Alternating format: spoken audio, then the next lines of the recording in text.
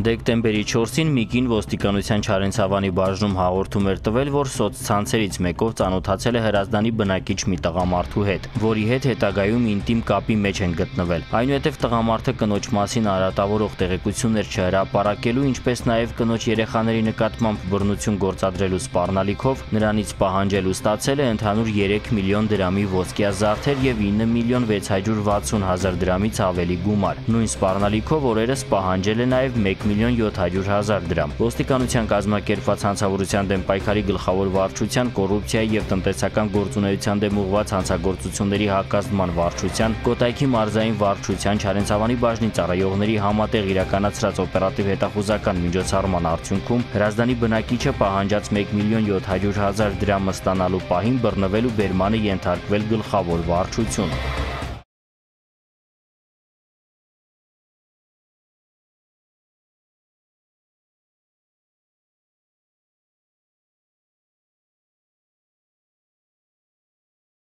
Տղամարդը ներկայացվել է դեպքի նախաքննությունը վարող մարմնին ու ձերբակալվել։ Շորտված գումարը հայտնաբերվել է։ Հանգամանքները պարզվում են։